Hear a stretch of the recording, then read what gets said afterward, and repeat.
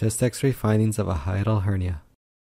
The typical radiograph is of a well-defined, rounded retrocardiac opacity with an air fluid level. In this image, the radiolucent gas is highlighted in blue, while the gastric contents are highlighted in green.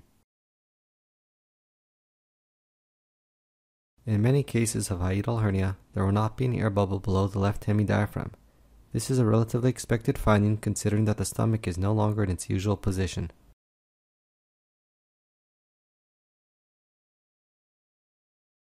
The anatomical position of the herniated organ can be further elucidated on the lateral radiograph.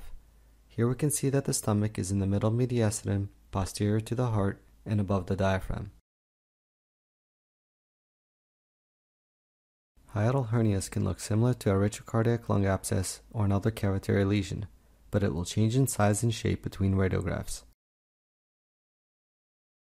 Large hernias can shift the mediastinum to the right and result in widening of the carinal angle. They can even give the appearance of cardiomegaly. In this radiograph, however, the cardiac silhouette is distinctly visible. To review, a hiatal hernia on an AP chest X-ray typically appears as a round retrocardiac opacity with an air fluid level.